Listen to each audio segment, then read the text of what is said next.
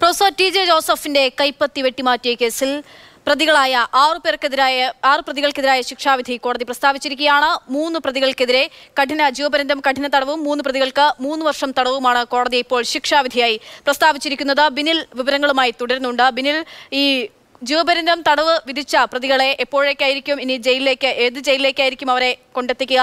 മറ്റു കാര്യം മറ്റ് മൂന്ന് പ്രതികൾക്ക് ജാമ്യം അനുവദിച്ചിട്ടുണ്ട്. ഈ ജാമ്യത്തിന് ഉപാധികളുണ്ടോ?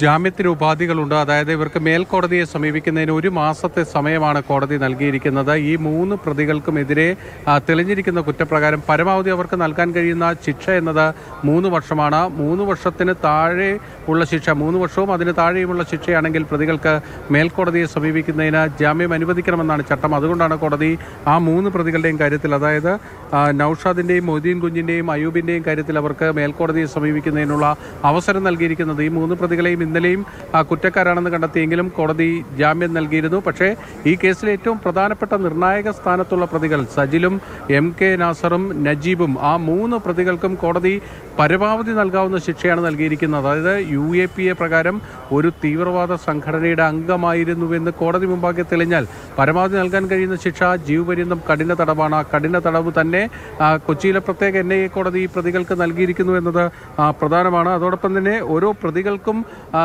തെളിഞ്ഞിരിക്കുന്ന കുറ്റവും അതിൽ കോടതി നൽകിയിരിക്കുന്ന ശിക്ഷയുടെയും വിവരങ്ങൾ കൂടി പുറത്തേക്ക് വന്നിട്ടുണ്ട്. ഇപ്പോൾ അതിന്റെ കൂടുതൽ വിശദാംശങ്ങളിലേക്ക് പോകാം. അതിൽ ഈ കേസിലെ രണ്ടാം പ്രതി സജിൽ. സജിലാണ് പ്രൊഫസർ ടി ജെ ജോസഫിന്റെ കൈപ്പത്തി വെട്ടിമാറ്റുന്നതിന് വേണ്ടി പിടിച്ചു വെച്ചു കൊടുക്കുന്നത് സജിലിന്. വിവിധ വകുപ്പ് പ്രകാരമുള്ള ശിക്ഷകൾ ഇപ്രകാരമാണ്. യു എ പി എ പ്രകാരം യു എ പി എയിലെ ഇരുപതാം വകുപ്പ് പ്രകാരം ജീവപര്യന്തം കഠിന തടവ്.